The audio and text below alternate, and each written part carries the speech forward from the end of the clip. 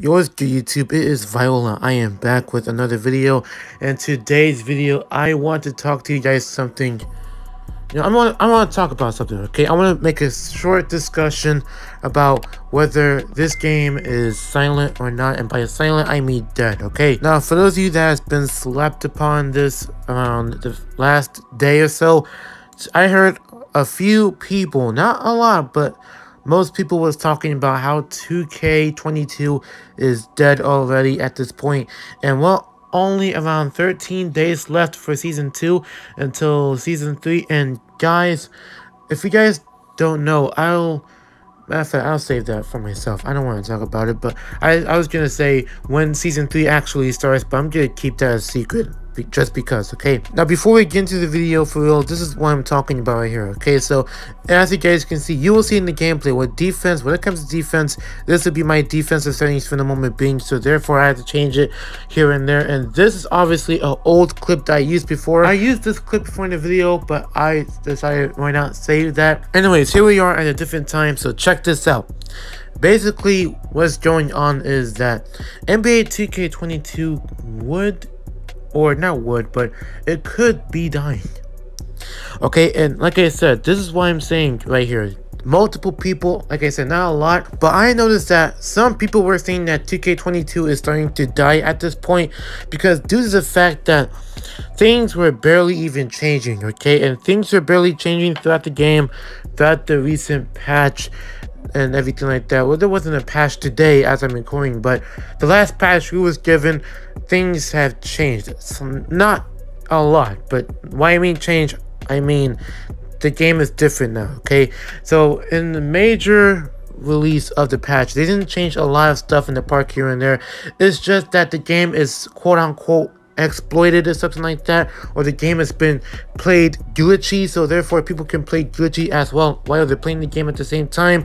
It's like, bro, what is going on with 2K right now? 2K is now heading towards a slight downward spiral at this time of age due to how many times they have been falling throughout the same they, they literally got to the same situation before numerous times throughout the years okay i'm telling you right now i've been playing 2k since forever, okay? But I the only few times I've been taking 2K serious was back then in 17, back then in 19, and 2K20.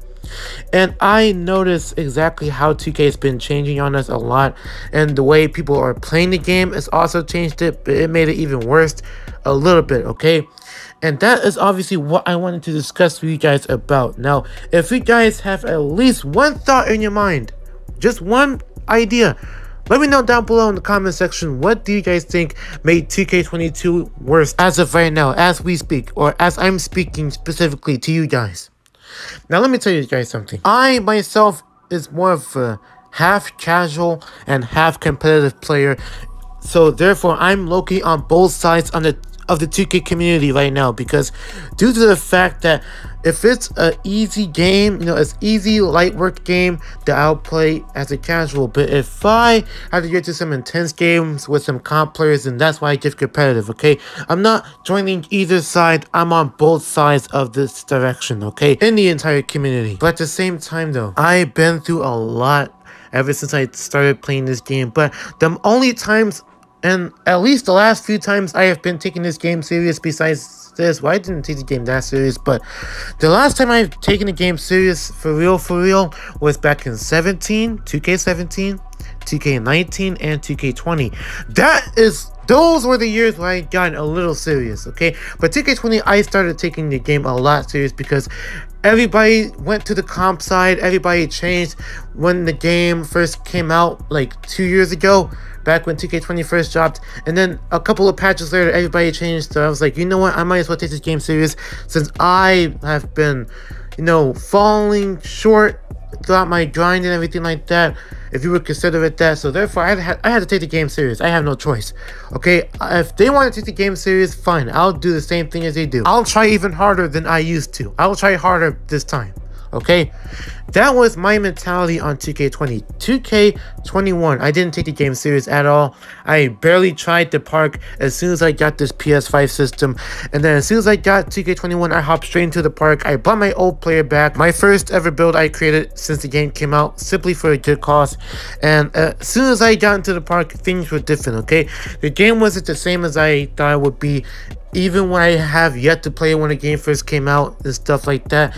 And it's been uh it's been a 50-50% chance of me just getting into the 2K grind, okay?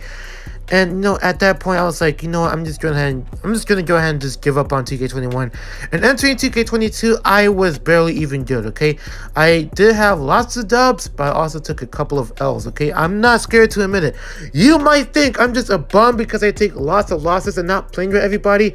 Well, first of all, I don't need no one. And here's the thing: I saw this one comment on my past video saying that, oh, I'm so angry because I don't have any friends to play with, and I obviously take losses for a reason.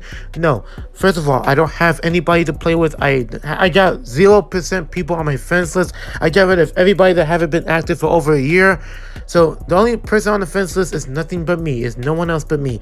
And secondly, uh, the reason why I only play with randoms is because I literally want to get games going. Even if it's for content, I have to get something going on, okay? I just can't play the game and not do park at the same time because what's really the point of playing park if you're not just gonna play park at all? Just gonna walk around the courts and look for a game and not play it? That's not me, okay? And number three, most importantly, I can do this on my own if I have to, okay? I'm not scared to admit it, nor am I afraid to admit it, okay? I mean what I say. But back to the news about 2K22 being slightly dead right now. See, I got this deal right here, but look at this. Check this out. How come I got bumped into that dude he stole the ball from me? And look at me. I'm playing as much tight defense as I possibly can. Pause. I'm literally playing as tightly as I can, okay? He got the screen over me. That's cool. He got another screen, and guess what? He missed that shot, right? But how is it possible for me to get how is it possible for him to get the bump steal and not me? I was literally playing defense. Matter of fact, I'll show you a clip right now. Look closely into this clip right here. These two clips. This is an example of playing defense, okay? Look, this dude did a complete crossover, right? And that was almost a bump steal. If, even if I didn't reach for it, he would have been dropped that. And look at this right here. A left-right cheese. The left-right cheese, this is what I'm talking about, bro. And I was right behind him. I, if I have reached for that ball, that would have been an easy steal. But no, 2K decided not to give me credit for my defense. I was literally playing the hardest clamps I could, and that is still not a stealable. But he can do that left-right cheese, and the left-right cheese. Let's let's get into that, okay?